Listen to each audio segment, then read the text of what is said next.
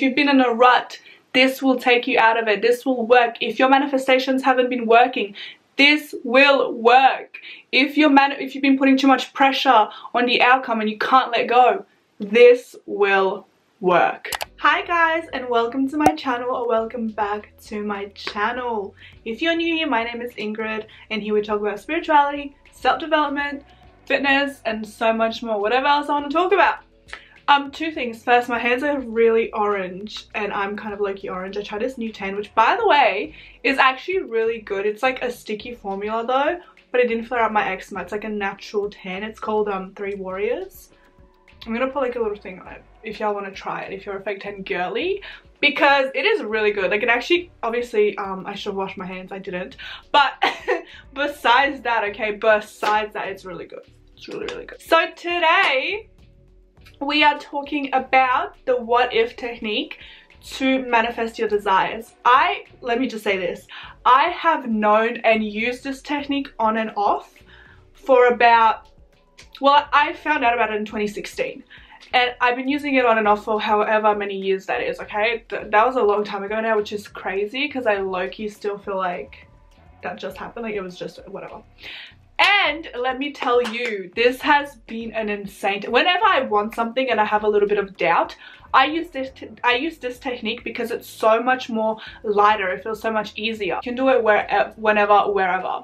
My favorite thing to do, my favorite place to do this technique in is in the shower because whenever we have thoughts in the shower, I feel like a lot of us tend to like spiral. And we're thinking of negative things that have happened and then all of a sudden our bodies are feeling the emotions of those things again and that is not what we want. That is not what we want. So guys, this technique is so simple. All you have to do is ask yourself the manifestation that you want in a what if sentence. So let me explain this. Rather than putting it out there as if you already have it, because a lot of people, they struggle with that, right? And they can't quite understand and, and feel the emotions of that. You would just say, what if I really was driving a Tesla? What if I really was a successful entrepreneur? What if I was in a relationship of my dreams? What if all of that's really happening for me right now? So whatever manifestation it is, you literally just pose it as a question. And as you're doing that, you're feeling the emotions still of having that because that feels good, right? We always tend to say, what if that goes wrong? But what if this goes wrong? Because we have so much anxiety usually about random shit that hasn't even happened. Worst case scenario, we catastrophize. We're humans. We do that shit. So rather than going to the what if worst case, we're going to go to the best case. So Find a place where you feel relaxed. That's why I say do it in the shower. Do it in your bed before you sleep. Do it somewhere where you're relaxed and it's quiet and you're not going to be disturbed. Take a deep breath in and out and start asking yourself questions. You can do this with however many manifestations you want. I would say because if you want to really focus on one and you really want to see it coming, maybe just do the one. So I'm going to use a relationship example and pose a few different questions. You guys can write these down if you want.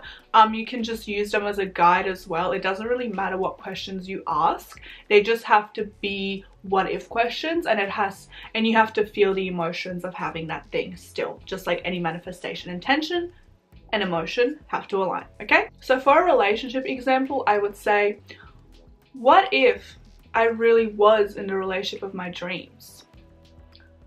What if whoever really was my boyfriend? What if I feel so happy now that I'm in that relationship? What if that was the best relationship for me? What if whoever really loves me as much as I love them?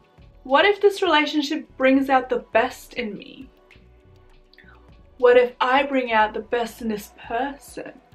What if this relationship is meant to be? What if this relationship is going to work out forever? What if this is the relationship that changes my life for the better? There are so many different types of questions you can ask yourself. Literally any. It doesn't matter if it's present or past tense, whatever the fuck. Just ask what if and feel the emotions as if it was happening now as if you're in that relationship right now as if you were an entrepreneur right now as if you had a successful business right now as if you were driving the dream car right now. All of those all of those things just need to be posed as what if questions and you feel the emotions of it. It's so simple, guys. And let me tell you something. I have used this when I've been feeling stuck. I really think this is a really good manifestation if you've been manifestation technique if you've been in a rut because when you get stuck in a rut for some time you don't really see a way out of it you can't just think positively out of it it's very difficult right technically you can but practically it's difficult. It's quite difficult. And so when we lighten it a little bit and we pose it as what if rather than it is it's a little bit easier for you to actually start believing it and embodying the feelings of already having that manifestation. Because you're still setting that intention out because you're thinking about that thing and you're feeling the emotions of having that thing anyways. Because when you ask yourself well what if this really did happen you kind of feel so excited and happy about it. Just the same way when you go, oh, but what if that goes wrong? And you kind of feel, and you kind of feel anxious and stressed. It's the same thing, but we're just going to the positive side, not the negative one. So if you've been feeling like shit, this manifestation technique will get you out of it. I have literally used this when I've been at my lowest points, especially when I was like 17, 18, just to manifest anything I've wanted, like little things, big things, bigger things. And honestly, it's worked every single time. It has worked every single time. There's so many little memories I have of this manifest, of me doing this in the shower. And then even just the next day, I was like, oh my God, that actually just happened. Because I would use this for a lot of different things. And you guys can. I would just recommend doing it like separately. So you're asking what if about your relationship, blah, blah, blah, blah. And then if you want to do it again the next day, you can do it about something else because, you know, you've already done the other thing but just know it's coming and expect the unexpected but you just know it's coming. Because the way manifestations work it's never really the way we expect them to right? Because where's the fun in it that way? The universe always takes care of the how you take care of the what and you trust. So this what if technique kind of takes the pressure of really knowing that it's there because you're already embodying the feeling of it being there while you're doing the manifestation. So make sure you're relaxed, find a comfortable spot, pose the what if questions, feel the emotions, let it go, forget about it, go have a nap, go hang out with your friends, go watch a random YouTube video that has nothing to do with it. Don't keep consuming the same type of content because that's just gonna like that's gonna keep reminding you of it and you don't want that. You just want to go about your day knowing that oh yeah what if that really did happen and once you've embodied it it will feel like it's already happened and you move on. You just move on. You don't stress about it anymore. Um, we don't want to stress what if worst case scenarios after that. We just want to go about our days and let it happen. Let it happen because it's happening. I'm telling you it has happened to me every time i've used this manifestation. Even if it wasn't the exact same thing that I've wanted it was better. And also it was still in the same lines like it was still like the same kind of thing. It was just be better. Like okay i'm gonna give one example that was like super random. I manifested a text from a specific person but i didn't even use my text manifestation um technique. I actually used this one. And i actually I this was like a random person I had a crush on way back and I didn't think about manifesting a text.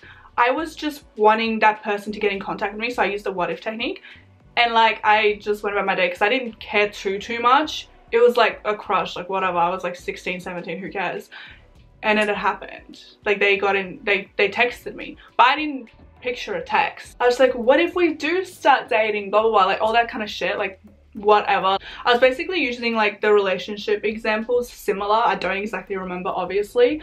Um, and then yeah, we got in contact. Did I date that person? No. Did I realize they that was not it for me? Yeah.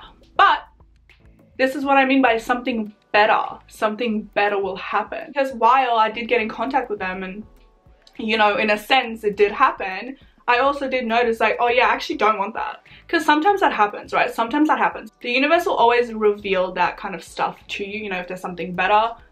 That's why I say expect the unexpected, but just know this technique works every time.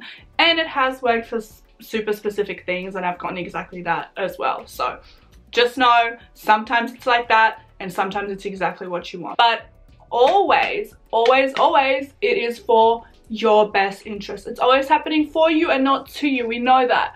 We know that. And I'm never gonna stop saying that, okay? So much shorter video today, guys, but that is it for the what if technique. Once again, I'm just gonna sum it up. Find a place where you feel very relaxed in. Take a deep breath in and out to further relax yourself. What if? Pose the what if questions about your manifestations. Embody those emotions, let it go, go do something else. And as I've said it many times before, if you've been in a rut, this will take you out of it. This will work. If your manifestations haven't been working, this will work.